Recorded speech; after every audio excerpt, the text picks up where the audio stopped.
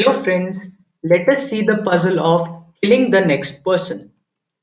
In this puzzle, there are 100 people standing in a circle in an order where they are numbered from 1 to 100.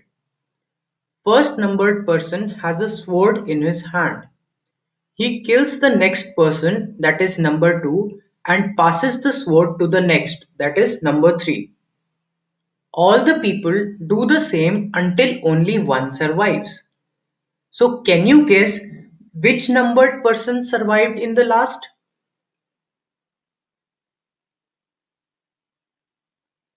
Let us see the solution. If first numbered person kills second, then second cannot kill 3 because he is dead. So it means that we are down to every odd numbered person killing every even numbered person in the first round. So after first round, only the odd numbered people would survive. That is 1, 3, 5, 7 and so on till 99. Now 1 would kill 3 and pass the sword to 5. 5 would kill 7 and pass the sword to 9 and so on till 97 would kill 99 and again pass the sword to 1. So after second round, the survivors are 1, 5, 9 and so on till 93, 97.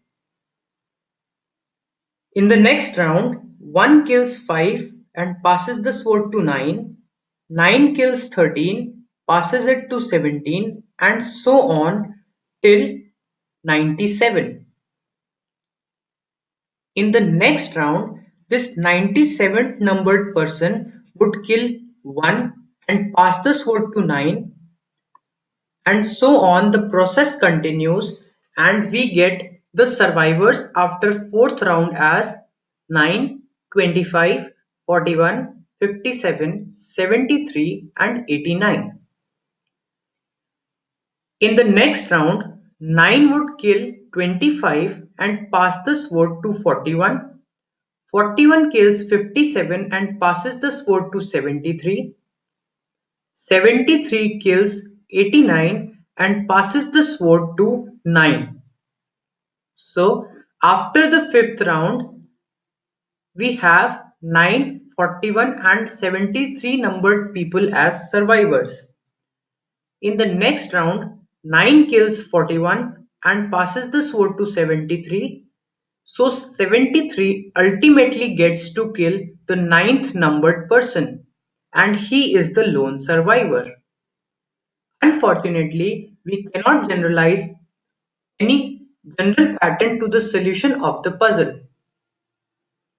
So it means that the 73rd person survived in the last. Stay tuned and keep watching.